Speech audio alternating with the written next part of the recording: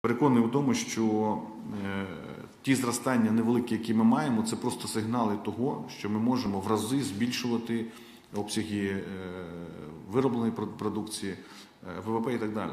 Але для цього нам потрібно зробити абсолютно конкретні речі.